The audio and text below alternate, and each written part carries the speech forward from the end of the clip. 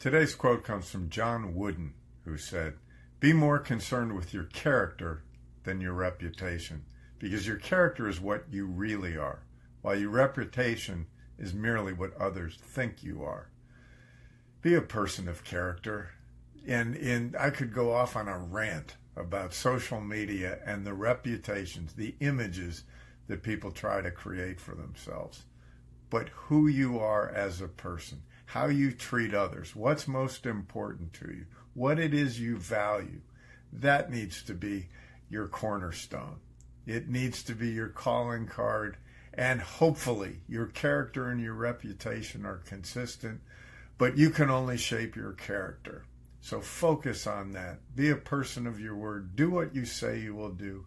Live your values.